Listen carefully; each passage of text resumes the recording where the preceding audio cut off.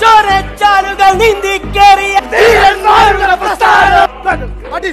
ഞങ്ങളുടെ നാട്ടിൽ ഇങ്ങനെ കൊടി പൊന്തിക്കഴിഞ്ഞ അപ്പം മുദ്രാവാക്യം